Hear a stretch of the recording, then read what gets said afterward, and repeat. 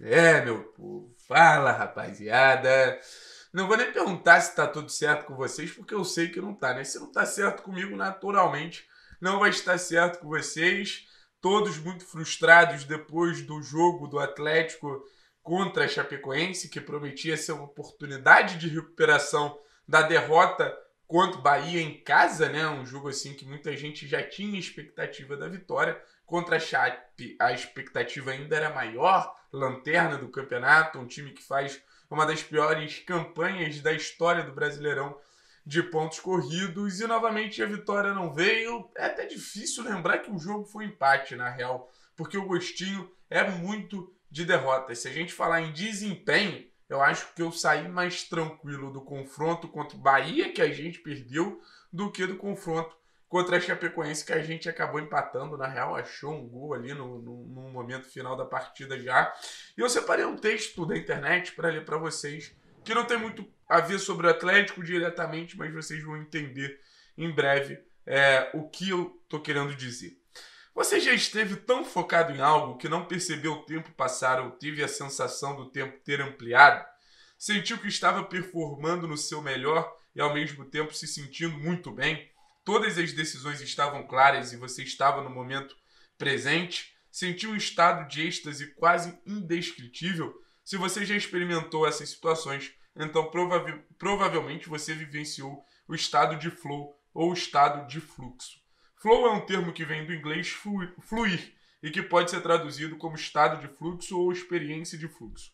O conceito de flow foi desenvolvido na década de, 60, de 70 pelo psicólogo Mihaly, pô, um nome aqui que não dá para falar, PhD e professor na Universidade de Chicago, para designar as experiências ótimas de fluxo na consciência. Esse psicólogo define flow como estado mental onde o corpo e a mente fluem em perfeita harmonia é considerado um estado de excelência caracterizado por alta motivação, alta concentração, alta energia, alto desempenho e por isso também chamado de experiência máxima ou experiência ótima. As experiências de flow geralmente são lembradas como os momentos mais felizes da vida da pessoa, os momentos onde ela se sentiu no seu melhor.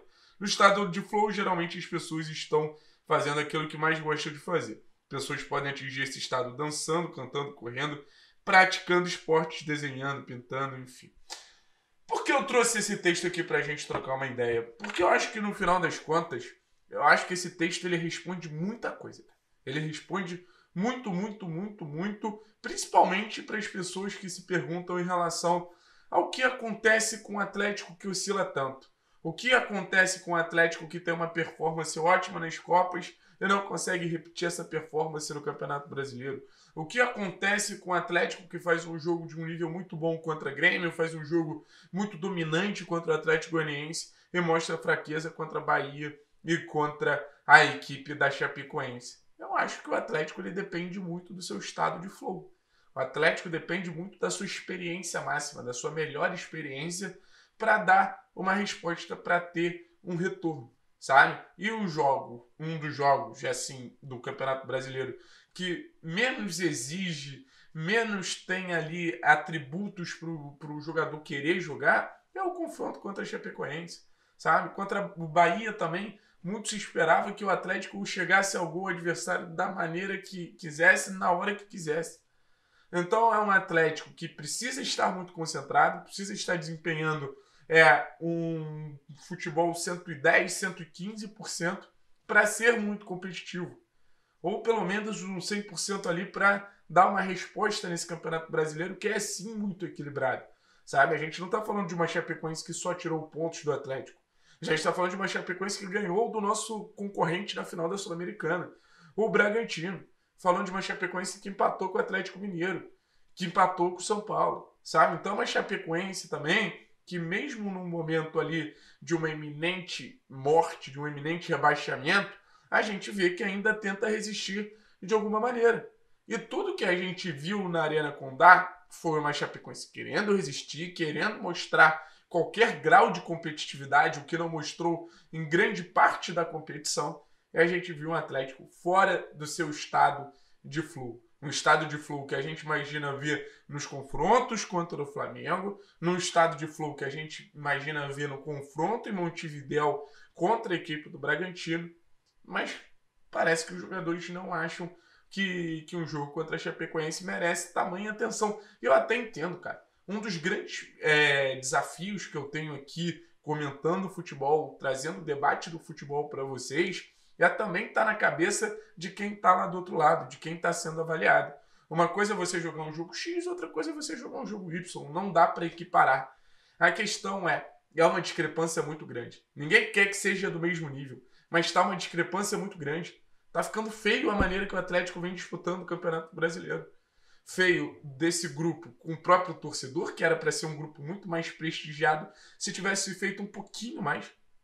Sabe? Se tivesse feito um pouquinho. Se não tivesse tomado o gol da Chapecoense no último minuto. Se não tivesse tomado o gol do Ceará no último minuto. Se não tivesse perdido para o Bahia em casa. Eu não estou pedindo para ter ganhado do Atlético Mineiro, do Flamengo, nem do Palmeiras. Eu estou pedindo um nível de concorrência contra os piores times da competição e esse nível de, de competitividade, de concorrência mesmo, não existiu. Sabe? Então hoje eu vejo a torcida do Atlético na véspera de jogos importantíssimos desanimada. Vejo a torcida do Atlético, que devia estar super empolgada, se perguntando o que, que o Atlético vai fazer no confronto direto contra o Flamengo. O que o Atlético vai fazer numa final de campeonato continental. Porque esse nível de atuação que o Atlético teve nos últimos dois jogos é um nível que, de verdade, assim, desanima qualquer um. Desanima até o mais confiante. Eu sempre apoiei muito esse grupo, eu acredito muito nesse grupo. Mas eu saí do jogo contra a Chapecoense extremamente revoltado, extremamente chateado. Contra o Bahia, a gente até cria alguma coisa. Contra a Chape, óbvio, a gente poderia ter ganho o jogo se o Terãs pelo menos tivesse aproveitado aquelas oportunidades ali depois da, da, da, boa intervenção ali do Abner rolando e falando, faz meu filho.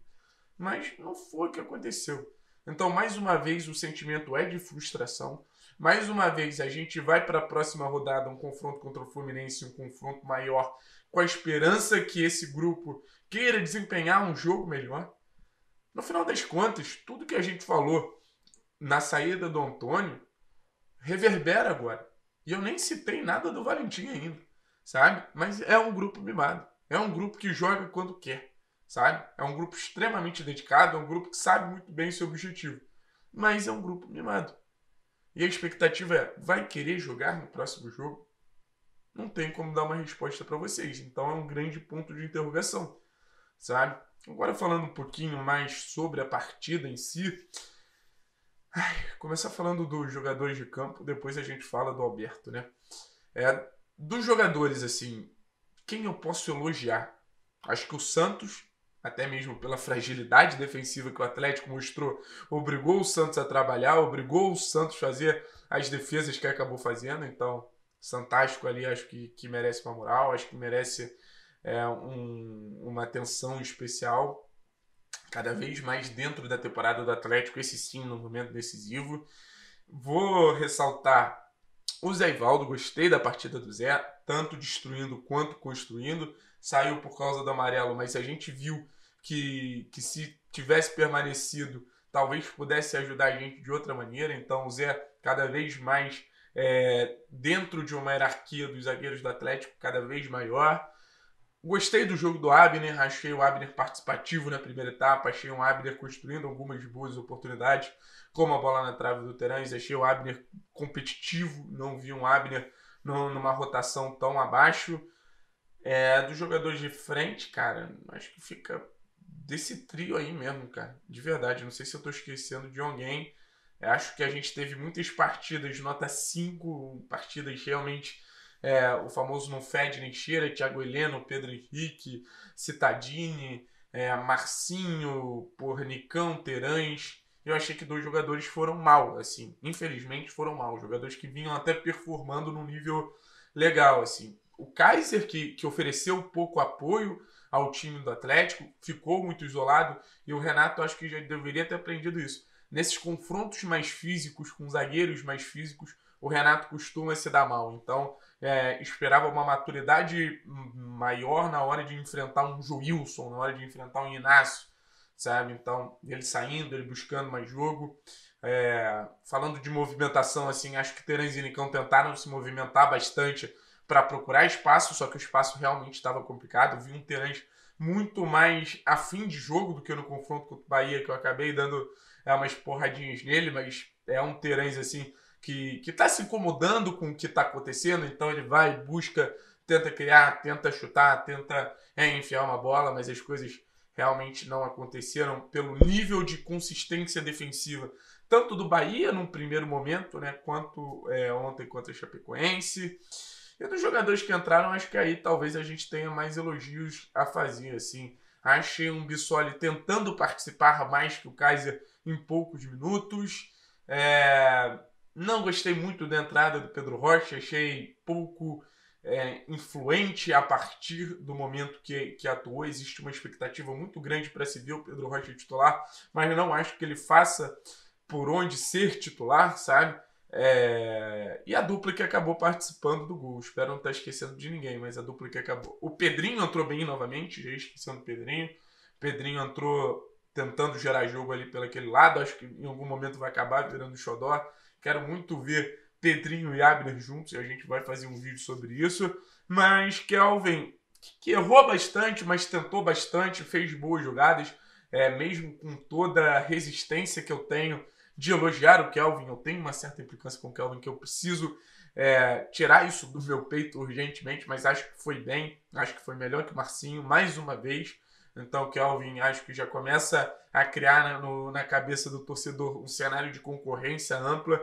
E vamos ver como o Alberto, que é especialista da posição, ele vai conduzir esse momento de, de, de concorrência, né? É, e o Christian entrou, eu já vinha falando do Christian desde um primeiro momento. Acho que se um Christian se encaixar, conseguir ter uma noção defensiva maior nesse esquema, naturalmente ele vira titular, porque é o cara com a bola, com ações ofensivas mais, é, mais claro assim das possibilidades de volante. Eu acho que eu ainda não repercuti tão bem a atuação do Richard, achei o Richard muito abaixo.